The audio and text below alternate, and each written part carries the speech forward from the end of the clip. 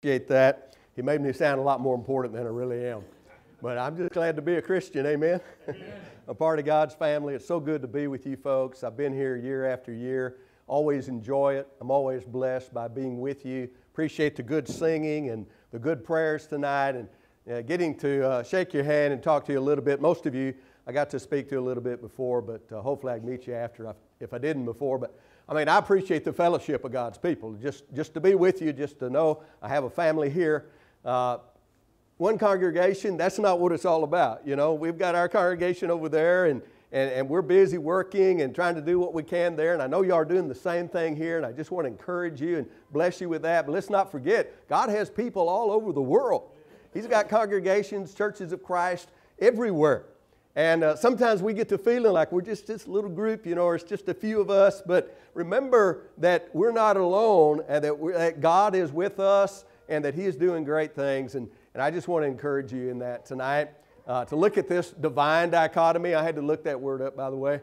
Uh, but I hope by now we kind of know what we're talking about. But uh, in the world, but not of the world, is what I came up with.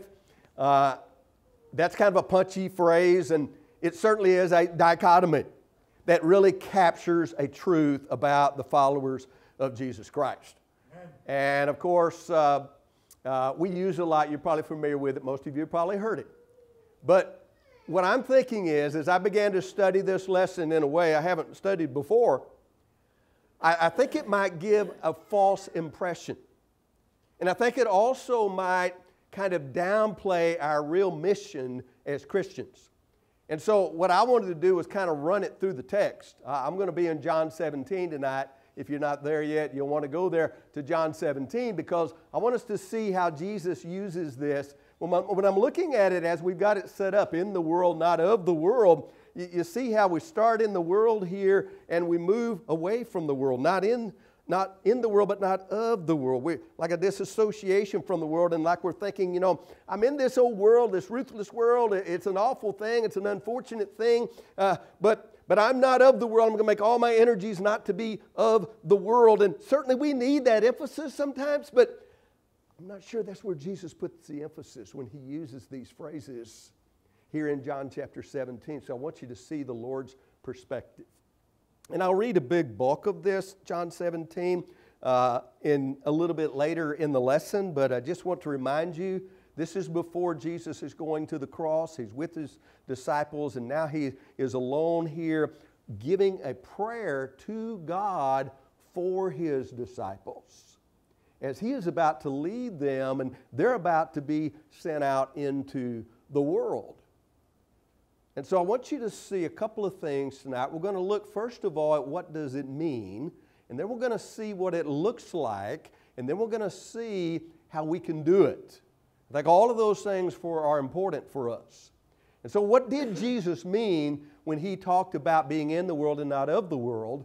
And let's notice, first of all, how he talks about being not of the world. If you look in verse number 14 of John 17, he says, I have given them your word, and the world was hated because they are not of the world, just as I am not of the world.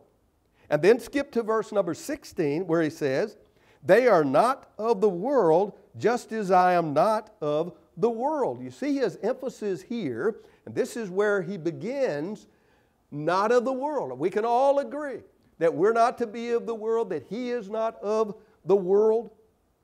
But I want you to notice here in John 17 that not of the world, that's where Jesus begins. That's the starting place, that's not the destination.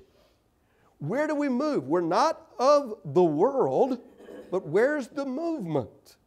Look at verse number 18, where he says, As you sent me into the world, I also have sent them into the world.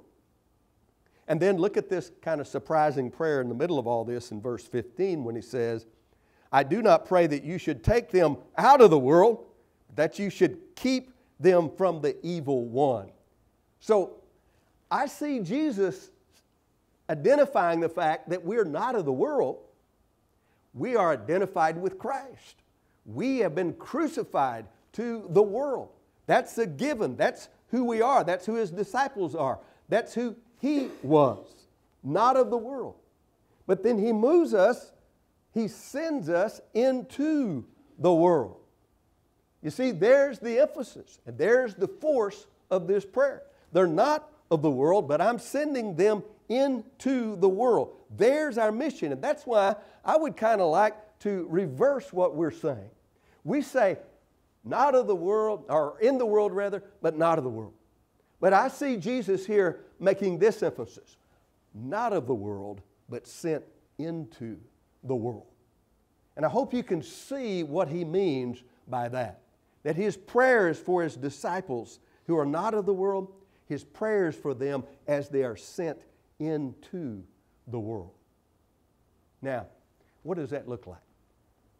Well, when I was a kid growing up, my, my, my brother and I, we were pretty close, and we were always out playing together. And up across the street, up on the hill there, we had a, a little lake, more of a pond. It had a little spillway on it, but had a little island out in the middle of it. And we decided we're going to buy us one of these blow up rafts. You know, and the hardest thing about that raft was blowing it up. but we finally got that thing blown up. And we took it up the hill and, and put it out on the lake. And we had some paddles. And so we were paddling around the lake. We gave our friends some rides. And it was great for a couple of weeks. And then we got a little hole in the bottom of the boat. And water began to seep in. It was okay for a while, but then that hole got larger. And we got other holes, and they got larger. And, and before you know it, all we were doing was scooping water out of the boat. And so, what did we do with the boat? Well, we threw it away. We got tired of scooping water. It wasn't doing what it was designed for. It was designed to be in the water. It was designed to float on the water and not sink. It was not designed to take in the water. Now, and can you begin to see how this is what it looks like to be not of the world, but sent into the world? You see, the, the boat is in the water. It's surrounded by the water, but it's not to take in the water. And, and we, you see, we have been sent to engage this world, but we must not allow our lives to be infiltrated with the morals, the, the values, the culture of this world. You see? So we, we are those that are in the world, all right, and we're not of the world, but more importantly, we're not of the world, but we're sent into the world. And I think we struggle with that as Christians, trying to keep the water out of the boat, trying to be the boat in the water. I think a lot of us, maybe some of us at least, we just take our boat out of the water altogether. And I think we have good intentions. You know, I, we don't want to be influenced by the world. We want to protect ourselves from the world and our families from the world. There's one problem with that. And, the problem is that when we take our influence out of the world, we take the influence of Christ out of the world. You see, our mission is we're sent into the world with the gospel of Jesus Christ. We, our mission is not to hunker down in a holy bunker. Amen? that, that, but that's where we end up sometimes. Now, on the other hand, we have those, they you know, launch their boat, but they fail to guard against the influence of the world, and they end up taking in the water. And some Christians I know, they just throw up their hands and surrender. You know, this is too hard. This is too boring. This is too weird. Being a Christian in the world, I can't do this. And they just give it up. But with most, I think it's more like a little by little, kind of like that raft that we had. You know, we kind of ride the fence over here, and we kind of give in over here. Uh, we might even compromise the gospel, the faith, the truth in some misguided attempt to be relevant. So, how do we do it? How can we do this? How can we be not of the world, but sent into the world. How can we get in this world and be an influence in this world without taking in the influence of the world, being impacted by the world? And I think that's pretty hard. I really do. It's not an easy job, it's difficult. And you see the first century Christians struggle with it just like we struggle with it. It's kind of like taking a boat upstream. You know how hard that is. it, it, my wife and I, we went to Niagara Falls a number of years ago, and it was a beautiful place. It's a great trip. If you can ever go there, it's worth it. But I don't want to take a barrel up Niagara Falls. it, it would be almost impossible. And sometimes that's what it feels like when we're trying to be these disciples who've been sent into the world, have an impact on that world. Not of the world, but sent into the world. But Jesus gives us two keys in our text, and that's what I want you to look at here in John chapter 17. I'm going to read with you uh, from verse 11 down through verse, or excuse me, verse uh, uh, 15 down through verse 20. Let's see what it says.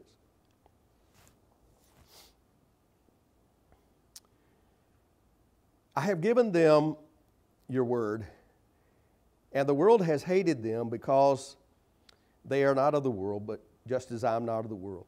I do not pray that you should take them out of the world, but that you should keep them from the evil one. They are not of the world, just as I am not of the world. Sanctify them by your truth. Your word is truth. As you sent me into the world, I have also sent them into the world. And for their sakes I sanctify myself, that they also may be sanctified by the truth. I do not pray for these alone, but also for those who will believe in me through their word. Well, just a couple of things I want you to notice here. Did you notice how Jesus prayed that God would keep them from the evil one? There's the first key. And did you notice also that he prayed that God would sanctify them with the truth, the Word of God? And did you notice in verse 20 that he didn't just pray this for his disciples, the apostles, but he also prayed for all those who would believe on him through their word. He, he's praying for us these same things. And so here's what we need to do. Number one, we need to guard ourselves from Satan. We need to guard ourselves from temptation. We need to take an inventory. You might remember what the Apostle Paul said at the end of that second letter to that church, at having so many problems.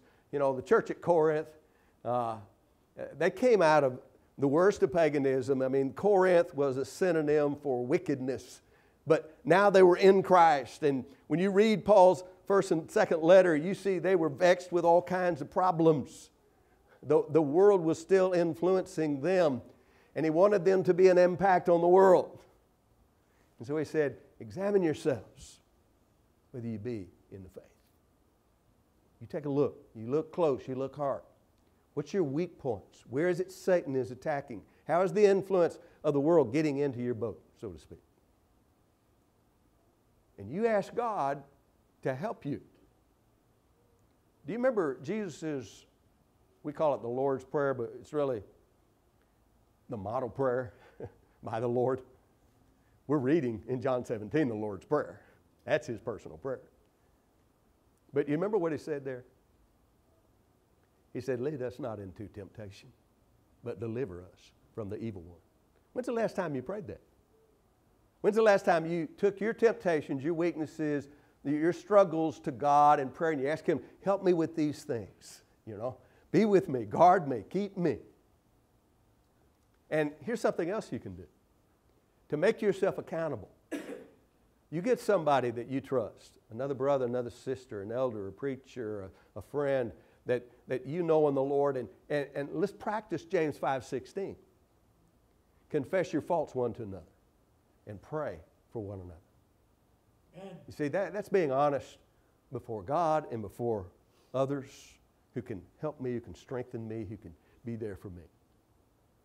And so, what I want us to do before we get our boat out there in the water is to kind of patch up the holes, okay? And I'm going to give you a passage in the book of James, James chapter 4. I think he sums it up pretty good right here. We're talking about being on guard from Satan, being on guard from temptation, trying to, you know, to, to not let these things in our hearts, in our lives. Here's what James says James chapter 4, verse 7.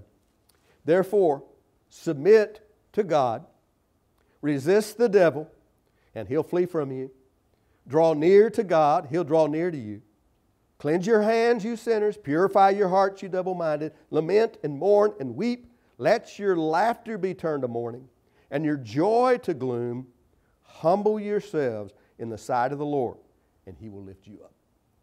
So James says, You you put your faith, your trust in God, you submit to Him totally, completely. You humble yourselves under the mighty hand of the Lord. He's going to lift you up, He's going to encourage you. But you've got to resist, you've got to stand up to the devil. And you've got to have a penitent heart, devoted to purity, to holiness. So that, that's what God is telling us. Let's patch up the holes, okay? And then here's the second thing because Jesus prayed that they would be sanctified by the truth, by the Word. I'm just telling us, let's immerse ourselves in the Word. Immerse yourselves in the Word of God, in the truth, and the gospel of Jesus Christ. I love how Paul kind of puts this in Romans 12 in verse number 1 and verse number 2. After he had laid out the gospel and, and the need for that gospel and the power of that gospel and, and, what he tells us in Romans 12 is, I beseech you by the mercies of God, which he had rehearsed so well. I beg you, I plead with you by the mercies of God that you present your bodies a living sacrifice. You know, like they used to put the lamb on the altar. He says, You put your heart, you put your life, you put your body there on that altar. The problem is we kind of keep flopping off the altar, don't we? But he says, You present your bodies once and for all, living sacrifice holy, acceptable to God, which is your reasonable service. And do not be conformed to this world. Don't let this world uh, press you into its mold. Right. But he says, You be transformed by the renewing of your mind, that you may prove what is that good, acceptable, and perfect will of God. Amen. You see, you let God's word change your heart, change your life. You don't let this world press you into its mold. You don't be conformed to this world. And that's only possible when we really give ourselves to God and, and immerse ourselves because we believe in Him, because we know it and because we obey it. We are sanctified. We are set apart. We are made holy by His truth, by His word, day after day, day in, day out. You see. Uh, Peter put it this way 1 Peter 3, verse 15. He, he said, First of all, sanctify Christ as Lord in your hearts. You, you set Him apart, you make Him the Lord of your heart. You let Him sit upon the throne of your heart. He's the ruler, He's the master, He's the king. I'm submitting myself to Him. And then He says, Be ready always to give answer to everyone who asks a reason for the hope that lies in you, right. yet with meekness and fear. You see, if we've been immersed in His Word and He is our Lord, we're submitting in obedience to His will for our life, then we'll be ready. And not everybody's going to ask us for the reason for the hope that lies within us, but the more we are unlike this world and we are like Jesus Christ, the more they're going to be asking us, What is this hope that you have? And when they ask us, we're going to be ready because we know the Lord and we know His Word, we know the gospel. If you're a Christian here tonight, then you've been saved. You know what that's about. You know what you did to become saved. You know what Jesus did for you so you could be saved. You can share that story. You can give that testimony to the world, if you will. And you can do that, as Peter said, with meekness and fear with gentleness and respect.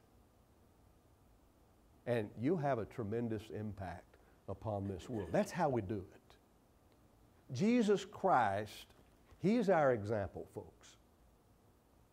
You remember why He came into this world? Luke 19 10.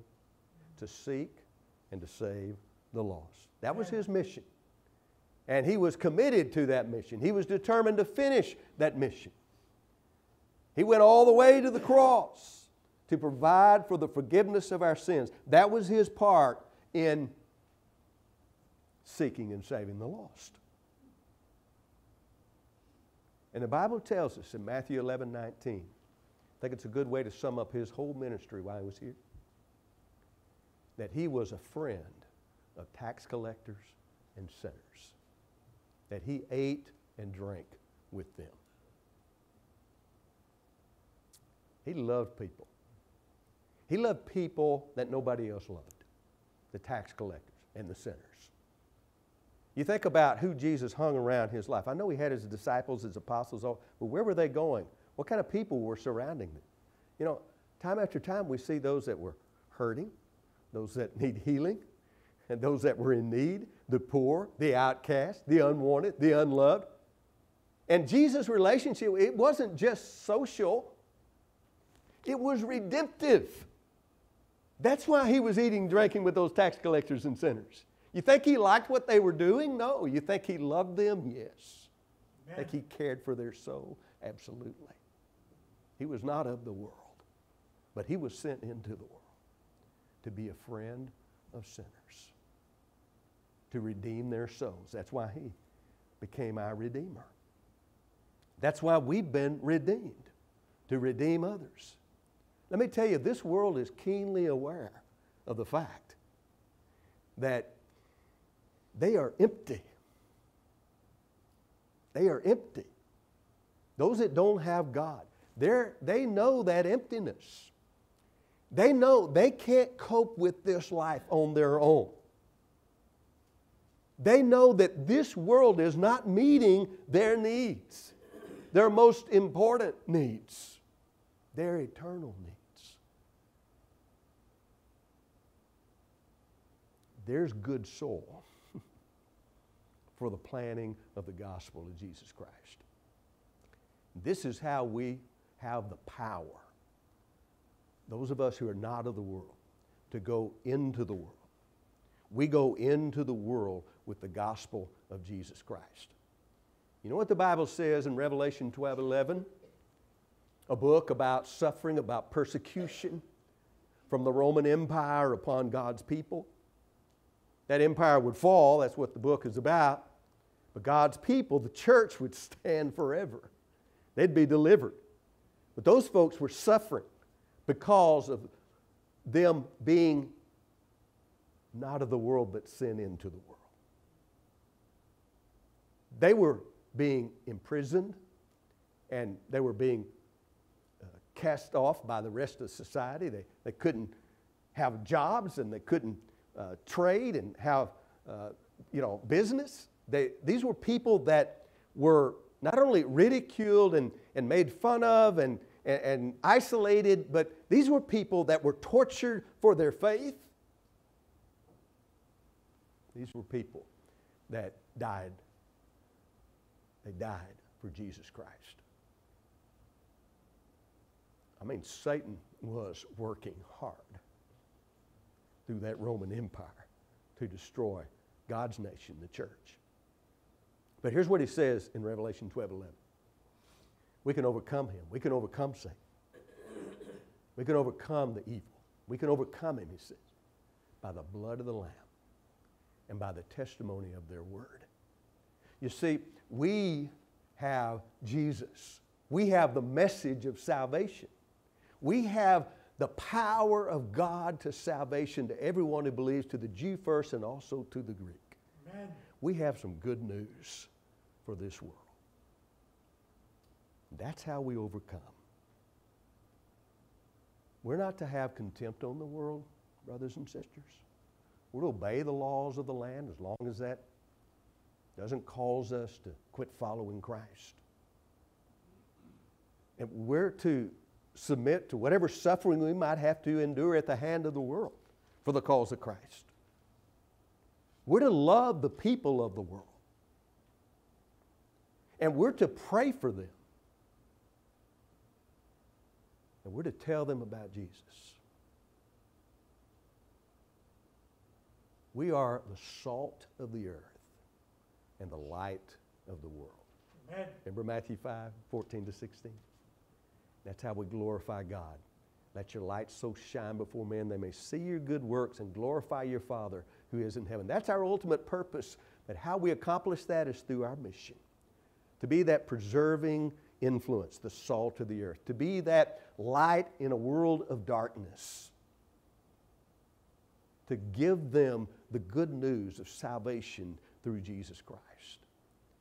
We've been redeemed. We've been set free, crucified to the world, but raised to new life to be sent back into the world. Given that light to get out of the darkness, but now to use that light as we navigate in the world with the gospel of Christ to rescue others, to, to bring others out. There's our focus, not of the world, but sent into the world. That's Jesus' emphasis. That's what he wants us to get here tonight. And when we get a hold of that, we're not going to get caught up in the world. Amen. The world's going to get caught up in Jesus. So I want to ask you this evening to whom do you belong? Do you belong to God or to the world? You know, when it comes to Jesus, there is no neutrality. You can't, you can't, I'm just going to be neutral with you. I'm not going to take a position. I'm not going to take a stand. He says, you're either with me or you're against me. He said, if you're not with me, you are against me. Matthew 20, verse 30. You can't ride the fence. You know Matthew 6, 24? It says, No man can serve two masters. They either hate the one, love the other, love the one, despise the other. You cannot serve both God and mammon. You've got to make a choice. You can't keep riding the fence. Jesus Christ says, I'm the way, I'm the truth, I'm the life. No one comes to the Father but by me. Amen. There's no other way, there's no other one.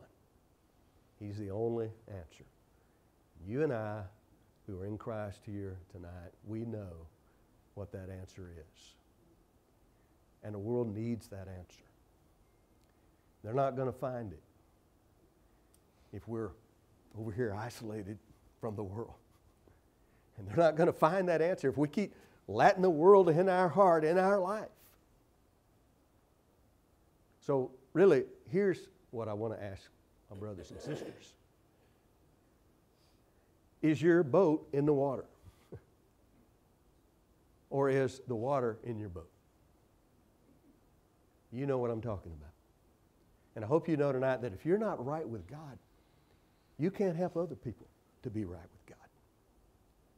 So here's an opportunity for you if you don't know Christ as Lord and Savior, if you haven't come to Him, confessing Him, making that decision to live for Him, to turn away from sin, to let us baptize you into Christ right here tonight, to be cleansed by the gospel of Christ, to be raised up to live a new life. And if you're one of those who've got all that water in your boat, or you have been failing the Lord in accomplishing the mission He's given you to do, then you come. You let us pray with you. Let us pray for you. Maybe you just need to talk to God about this. You know, He says if we confess our sins, He's faithful and just to forgive us our sins, to cleanse us from all unrighteousness. Just be honest with God about where you're at tonight. So He might continue to use you in His kingdom to do His work, to bring redemption to those that are lost. Don't leave here without getting right with God. Let us help you to do that tonight as we stand and while we sing. What you